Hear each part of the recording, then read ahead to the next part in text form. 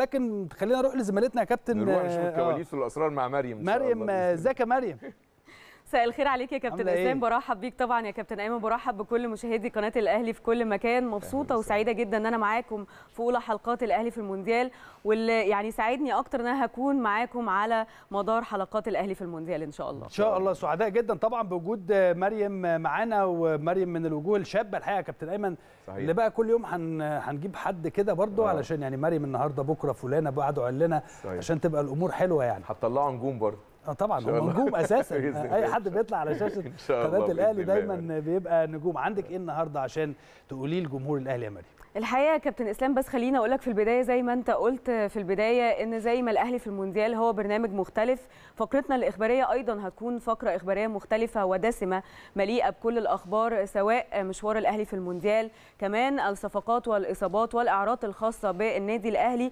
وأيضا هنتطرق لعناوين الصحف العالمية اللي بتتكلم عن مشوار الأهلي في المونديال. يلا بينا. خلينا الأول نبدأ أخبارنا والنهاردة طبعا الكابتن محمود الخطيب رئيس النادي وجه الشكر والتحية لبلدنا التاني الإمارات علشان الاهتمام وحفاوة الاستقبال لبعثة الأهلي اللي وصلت الإمارات امبارح علشان تشارك في كأس العالم للأندية. وطبعا قال ان ده مش جديد على الإخوة في الإمارات اللي بتربطنا بيهم علاقات تاريخية.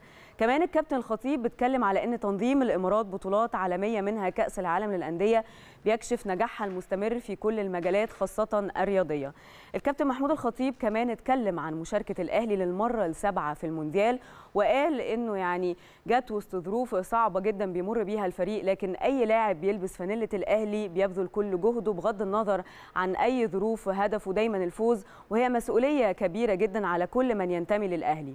كمان الكابتن الخ- الخطيب أكد كلامه اللي قاله قبل كده بخصوص تضارب مواعيد كأس العالم للأندية مع آه، كأس الأمم الإفريقية طبعا وقال إن مصلحة مصر اولا فوق أي اعتبار خاصة وإن مساهمة بعض اللاعبين من الأهلي في رفع اسم مصر عالي والفوز باللقب الإفريقي مع المنتخب. ده شيء آه، بيسعد كل أهلاوي. وقال كمان إن الأهلي سلك كل الطرق القانونية مع فيفا والكاف والاتحاد المصري ورئيس الاتحاد المصري وقتها قال الأهلي هيلعب بكامل نجومه في المونديال والمنتخب سيلعب بكامل نجومه في في الأمم الإفريقية. في النهاية ده ما حصلش وهيفضل الأهلي الداعم الأول لكل المنتخبات المصرية في مختلف الألعاب. قبل بس ما تروحي على الخبر الثاني أنا عايز أقول لك حاجة يا كابتن أيمن. اتفضل. ليس كل ما يعرف يقال. آه طبعا. أنت عارف يعني. مظبوط. في حاجات كتيره أيوه أنا عارف. الكلمة دي والجملة دي يا مريم دايما. سمعناها والحقيقة يعني أدينا بنشوف نتائجها. يعني إحنا خلال آه، من شهر وشهر ونص تقريبا طلع علينا الأستاذ أحمد مجاهد آه، الذي كان رئيسا للجنة الثلاثية التي تدير الاتحاد المصري في ذلك الوقت وقال لك إيه؟ ليس كل ما يعرف يقال.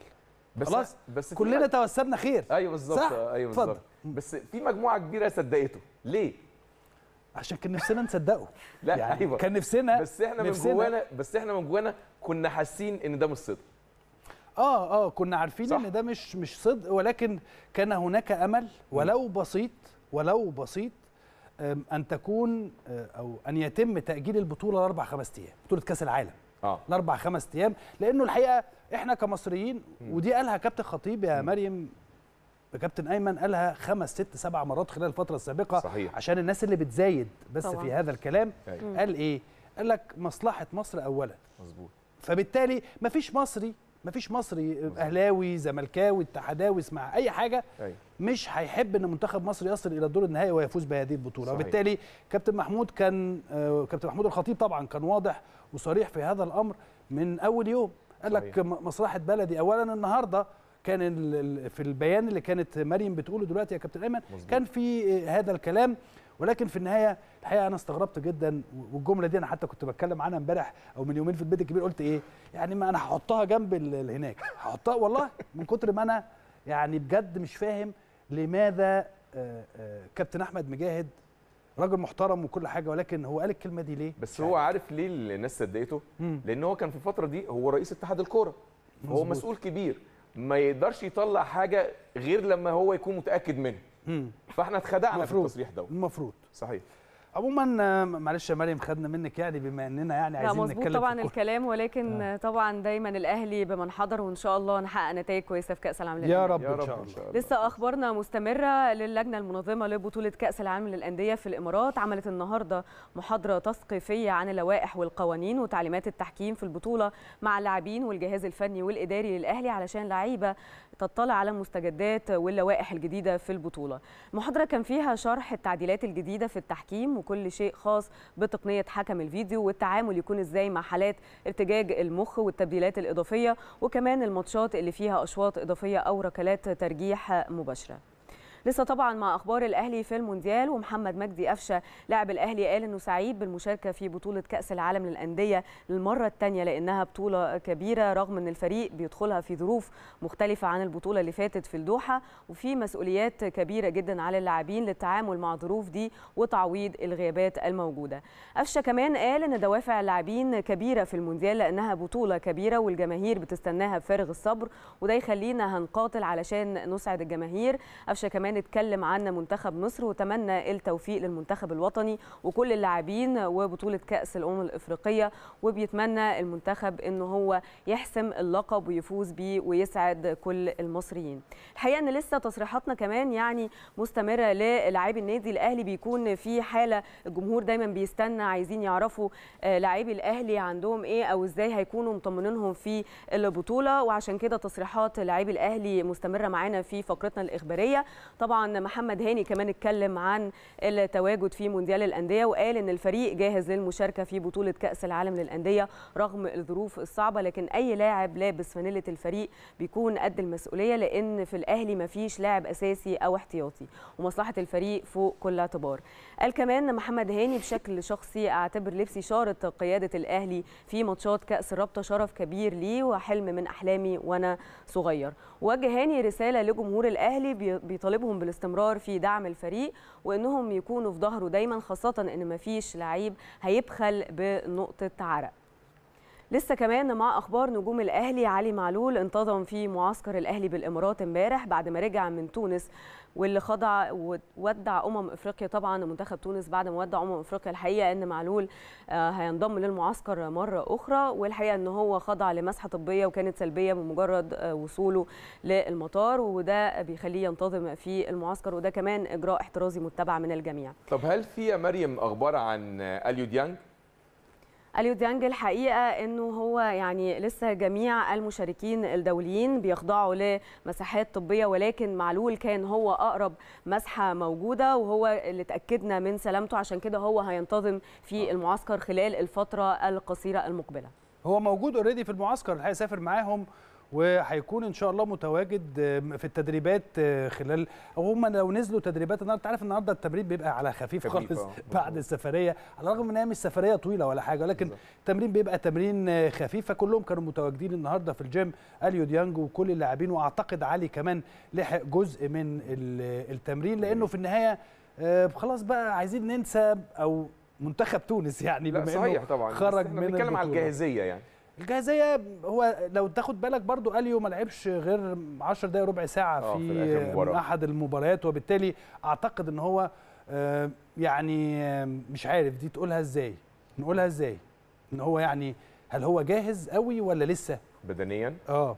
آه عشان بقاله كتير بعيد عن عشان بقاله المباريات كتير يعني. بعيد عن المباريات. آه. هنشوف ده هيحصل ولا مش هيحصل خلال الفترة اللي جاية. اتفضلي يا مريم.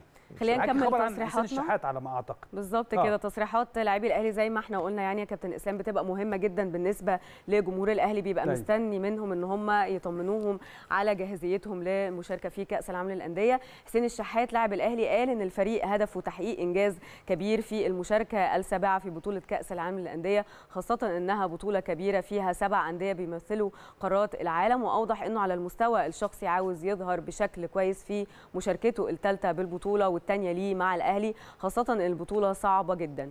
وقال إن الأهلي هدفه اللعب على الفوز بالبطولة أو عمل إنجاز كبير بعد ما خد الميدالية البرونزية مرتين آخرها السنة اللي فاتت. الشحات كمان قال إن جمهور الأهلي في الإمارات هيكون ليه دور كبير جدا في مساندة الفريق في ماتشات المونديال. واللعيبة عاوزين يفرحوا جمهور الأهلي في كل مكان سواء اللي في الإمارات أو في مصر وفي كل العالم. مصطفى شوبير ومحمد مغ- مغربي هينضموا لمعسكر الأهلي النهارده بعد ما عملوا مسحة طبية ثالثه في مصر للاطمئنان عليهم ونتيجتها طلعت سلبية الحمد لله. وده طبعا بيطمن عارف كل جمهور بتتكلمي النادي كده؟ هم كل لسه مكان. داخلين حالا الأوتيل. حالا. والله مش بهزر حالا. آه. لسه بعد التدريب. داخلين نعم؟ بعد التدريب بعد التدريب. هم آه. لسه واصلين دلوقتي وانضموا بالفعل إلى هينضموا للتدريبات خلال بقى الأيام القادمة بداية من بكرة إن شاء الله. إن شاء الله. بإذن الحمد لله. اتفضلي. لسه كمان مع أخبار الأهلي وعشان نطمن على أكرم توفيق اللي بيخضع النهارده لبرنامج علاج طبيعي في النمسا بعد جراحة الرباط الصليبي تحت إشراف الدكتور كريستين فانك اللي عمل, له الجراحة. دكتور أحمد أبو عبلة قال إنه بيتابع حالة اللاعب بشكل مستمر لحد ما يتحدد البرنامج العلاجي والطبي بعد عودته إلى القاهرة. قال كمان إن أكرم هيبدأ مراحل تأهيل بشكل تدريجي في جدول زمني محدد بداية من عودته للقاهرة بعد انتهاء أسبوع العلاج الطبيعي.